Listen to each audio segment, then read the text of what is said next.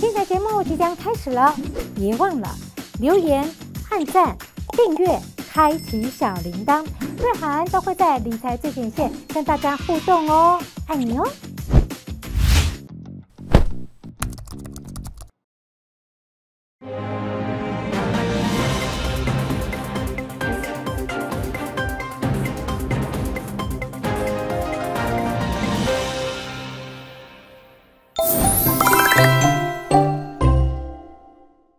迎收看理财最前线，今天礼拜四，明天礼拜五喽。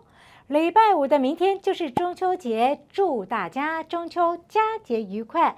但月饼不要吃太多了呢。今天的节目呢是股息再投入的单元，已经来到了第二集。还记得第一集我们说什么吗？领到了息再投入买股票。那么今天第二集教大家领到了息再投入买 ETF。可话说回来，有股 ETF、债 ETF，您该如何搭配呢？有人告诉瑞安姐说，我就喜欢债。那么请问，如果买债，债 ETF 跟海外债到底如何配置，又适合谁？就今天为您邀请到元大证券副理简千宇来到了现场。千宇，你好。瑞涵姐好，大家好。所以千宇问一下了，领到了股息，如果要再投入买 ETF，那么策略该如何演拟呢？因为我们领到的股息想要再投入 ETF，那这一些投资人呢，其实最重视的就是股息，所以我们今天的主题呢，会环绕在配息型的 ETF 去跟各位观众做解说。那以现在目前的一个时间点呢，我觉得其实股债双搭是最棒的投资。那我们在挑选配息型 ETF 股债双搭的策略，我们其实要很注重三点。第一点呢，就是我们挑选配息型的 ETF 或投资等级债的 ETF，那投这样才有配息嘛。那投资等级债的 ETF，如果之前有看过瑞涵姐的节目，那我们都知道说，一个 A 或是三个 B 以上的信用平等才是投资等级。第二点呢，就是我们要注意这一些 ETF 每天的成交量。那我会比较建议，就是我们不要去交易每天成交低于一百张以下的。那资产规模的部分呢，也建议选择大于十亿以上。为什么呢？因为呃，如果你的成交量太小，那你就会有流动性的风险。那如果你的规模太小，那你就会又面临到清算的风险。换句话说，领到了息再投入买 ETF，依循这三大策略嘛，哈。好，千羽来请上来。呃，请问一下，所以你这个三大策略是最好同步都要有嘛，对不对？就是资产规模哦，还有一个折溢价，折溢价这是什么意思呢？折溢价的意思是，其实我们的 ETF 是本质是基金，那所以它在投信那一边会有一个净值。要来一个白板，让白板呢千羽把它画清楚，来净值。好，在投信公司呢，那我们会有一个净值。对，好，那基金证券化之后，我们会挂到挂到盘面上去交易，那就是次级市场。那我们到了次级市场，我们就会有一个市价。没错。那我们今天呢，如果市价大于净值的话，这个叫做溢价。嗯，过度的溢价等于你买贵了，那你就不要去追价。通常超过多少叫做贵呢？其实一趴，我觉得就就不要、不要再去追一了。percent 以上，对对哦就不追了。那如果那好，那如果倒过来，净值大于市市价大，好，那其实这个就是折价。可是折价来讲，很多人会以为说，哎，那我去市价现在很便宜啊，我赶快去多买一些。可是其实折价的部分你也要小心，嗯会有那么严重的折价，很可能就是流动性的问题。哦，好，把它清掉之后呢，三个条件明白之后试算。那我们如果想要买股跟债都有配息的 ETF，试算到底情况如何呢？好，那投资人一般都会去纳闷说，哎，那我领到了这些股息，我把它转投入 ETF，到底是不是一个好的策略？那我们这边做一个假设哈，假设连续十年。那每年我们都是固定领十万的股息，嗯那代表什么？我们这个十万的股息，我们就是滚入在投资。情境一呢，我们就来看一下哈。好，我今天我领到了利息，我很开心，好，所以我就觉得说，哎，这个我怕它有波动，因为这一些是我未来要存起来的老本，所以我把它拿去银行寄寄放起来。嗯那我们来看一下哈，定存十年，以目前的定存利率大概是一点五趴。那公式我把它写在这边哈，十万一点五趴，我们今年领到了十万块，把它存进银行。嗯那明年我再把这个股息加起来，然后再加第二年的利那个股息，对，好复利，那我就再去把它滚进去，再存，连续存了十年，那我们可以看到，我们大约我们的市值会变成一百零八点六万，这代表什么？这代表说。呃，领了十年的十万就一百万嘛，那我赚了八点六万。那放定存呢，其实基本上不会有额外的资本利得。可是呢，放在银行定存储蓄固然是个美德，息就是太少了啦，对不对？对你看哦，十年，因为这是本嘛，这是年息，对因为放了十年，所以到最后你的息是八点六万。对，我真的觉得还是有点少，十年八点六万，那应该要用情境二喽。对，所以情境二才是我们最 care 也是最重点的哈，因为其实现在很多的 ETF 大部分都会有四趴五趴，四到五 percent 的股息之利率，对，股息嗯值利率。对，那我们就用五趴来做一个举例哈，年化配息率五趴的 ETF，我一样每年领到这十万块，我就是滚进去再再买同一档的 ETF。哦好，那我这样子十万复利了十年五趴，那我复利下来的效果会变成一百二十五点七万。比这个多很多嘞。对啊，哦是，所以五趴跟一点五趴，你再加上复利的效果，会发现多很多。但是呢，有一个前提，投资人一定会疑惑说，我现在假设一档 ETF，我现在是三十块，股价会上上下下的、啊。对我如果都没动，从头到尾都三十块，我都没有动，我每年零五趴，这样我才会有一百二十五点七万啊。对，就是这一栏，股价都维持不动，十年都不动，那有扣零的代际哈。对所以如果股价涨了或跌了呢？那红色的这一条线就是，假设这一档 ETF 它都一直在三十块以上，那我们可以看到，你如果大于三十块的话，那其实我们买到的单位数会比较少，对，因为领的息都是一样的嘛，对。一，年领十万嘛。价格买比较高，对啊，价格嗯比较贵，我当然买到的单位数就变少了。对，哦哦，嗯，对，那我们来可以看一下哈，三十块维持不变的情况下，我们是领到，呃，一直存进去，我买的股数是四万一千九百二十六股，对，没错。可是如，果股价高的话呢，那我就会买到比较少。三万八千三百三十五。那我们很幸运，我们在第十年的时候，我们收收在三十四块，嗯等于说我进场三十块，现在三十四块，那三八三三五去乘以三十四，你现在的账面金额就有一百三十点三万哦，那很不错耶。很不错。比这个高哎，所以提醒您哦，现在呢，如果领到了息，要去布局 ETF。股或债的部分呢，都是要有配息的这三大原则。好，那我们接下来往下看，有些人会问瑞安姐说，今年不是债的投资流行年吗？所以呢，你只想买债的相关商品，请问一下千羽啊，如果债券 ETF 跟海外债，我们该如何挑选呢？好，债券 ETF 跟海外债到底要怎么挑选？哈，我们这边把它拆分成两个区块。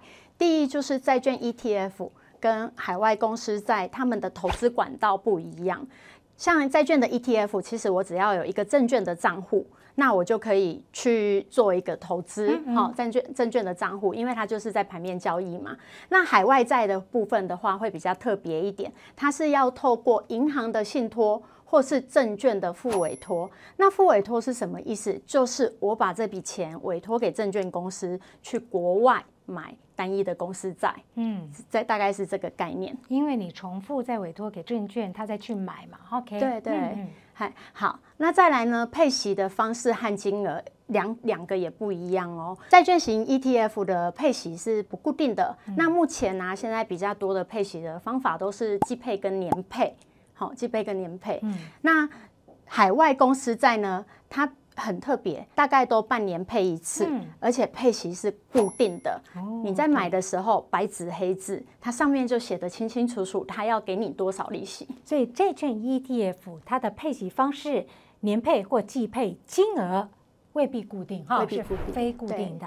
到期日呢？债券啊，ETF 它没有到期日，反正你买进去，它就是起起伏伏，一直在浮动，你也没有所谓的到不到期，就是看你什么时候要卖嘛，哈、那但是呢，海外公司债很特别，海外公司债呢，它有一个特性叫做到期返还面额。嗯，我们买这海外债，我们最害怕什么？借人家钱，最害怕人家不还钱。嗯，所以我们的还是一再强调，就是我们要去买投资等级的公司债。对，投资等级的 Triple B 以上哈 A 级以上的好公司，几乎就不太会有违约倒债的问题了。没错。OK，嗯，好，那投资人门槛呢，就是一个别 ETF 的股价下去算。如果你今天买一张三十块的 ETF，那你就要交割三万多块。嗯，那海外公司债呢，它的门槛比较高一点。海外公司债一般它的门槛是一万块美金起才可以去做购买，大约三十一万、三十二万台币，差不多。对，因为现在汇率大概三十二块。可是我们这边啊，哈，其实现在很流行小面额债，哦，现在两千块美金也可以投资哦。是啊，所以有一些小资族如果想要透过固定的领息的。海外公司债也是可以投资的。那投资标的的部分呢？以债券 ETF 来说，债券 ETF 我就是看那一档债券的种类来分配置。像我们看到 ETF 的名称，我们常常会听到美债五年、美债二十年、美债三十年。好，那这个就是依照年期，这是第一个种类。好，那第二个种类呢，就是信用平等。信用平等是用什么？有我们有，比如说二十年的政府公债。二十年的公司债，那政府公债跟公司债一般来讲平等的就不太一样。那以信用平等来讲，还有一种很特别的，建议投资人就比较不要去碰，就是我们所谓 BB 加以下的平等，那个就是非投资等级债，也就是我们所称的垃圾债券。它的波动会比较大一些。其实这个大家呢很容易看得到，如果您仔细去看这个挂在黑板当中的债 ETF，有些的名称上面就会写两个 A 或三个 A 的债 ETF，就是呢它是 Double A、Triple A 以上的这样一个公司发的公司债的 ETF，投资等级的就会是安全的哈。没错，所以要找这样一个方向。风险呢？投资任何商品其实都有风险哈。那以债券 ETF 来说，就是我刚刚提到的。如果你今天是买非投资等级的，那它的波动当然就很大，因为你非投资等级的债券，为什么我得用比较高的利息去吸引你？是不是我的公司体质比较没有那么优？然后是不是我的规模比较小一点点？那没有办法让投资人感到比较安心一些？好，所以我得用高一点的利息来吸引你。公司没有那么优，只要给你比较高的利息，你才愿意买它的债，但是尽量不要碰。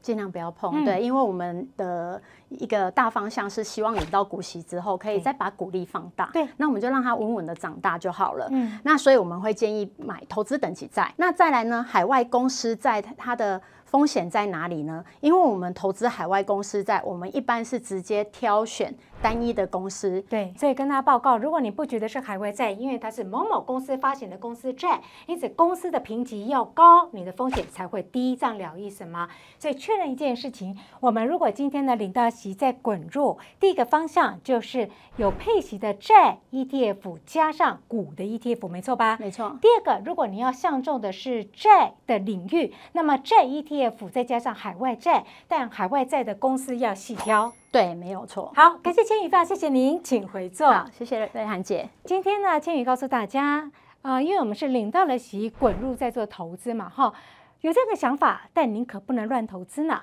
第一集我们教了，在投资的是股票市场。第二集的今天告诉大家，你可以买 ETF，因此呢。买 ETF 策略可是有三大方向。第一个，因为我是领到股息再去买 ETF。关键字 keyword 是席，换句话说，我领到席去买 ETF，我在乎的是席，因此我再布局到了 ETF，一定要有配息。所以呢，不管是股或债的 ETF，一一定要有配息。第二大条件要有量啊，因为你量大才会好进好出，才不会陷入到流动性的风险，买进去出不来，那不就糟糕了嘛？再加上资产规模超过了十亿以上。投信发行基金 ETF，你要让这个净值还有规模要是大的，才是有量的大前提，这是保护自己。第三个条件，刚刚说的折溢价，因为呢。